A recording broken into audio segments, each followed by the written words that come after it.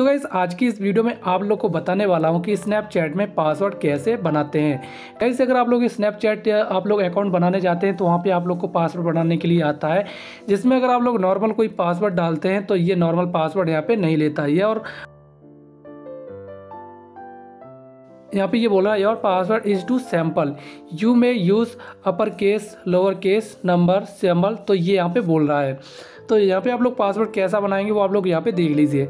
तो फ्रेंड्स अगर आप लोग का नाम है यहाँ पे सोनू मोनू या आप लोग का विकास शिवम जो भी नाम है तो सबसे पहले आप लोग अपना नाम डाल दीजिए, जिसमें आप लोग को आगे का जो लेटर है वो आप लोग को कैपिटल लेटर लिखना होगा तो मैं यहाँ पर डाल देता हूँ सोनू।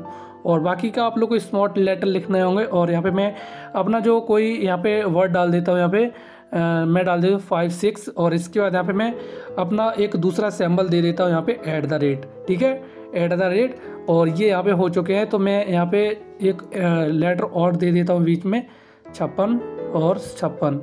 ठीक है? Sonu five six five six तो एग्ज़ाम्पल लेके आप लोग इसी तरीके से दे दीजिए, अपना जो पासवर्ड बना लीजिए सोनू अगर नाम है मोनू तो एम बड़ी बना लीजिए, बाकी की छोटे, और इसके बाद यहाँ पे कंटिन्यू के बटन पे आप लोग क्लिक कर दीजिए, ठीक है? इस तरीके से आप लोग का पासवर्ड यहाँ पे सेट हो जाएगा। ये देख सकते हैं यहाँ पे, ये पासवर्ड हमारा यहाँ पे सेट हो चुका है, ठीक है इस यहाँ पे मोबाइल नंबर डाल के आप लोग यहाँ पे अकाउंट बना लेना।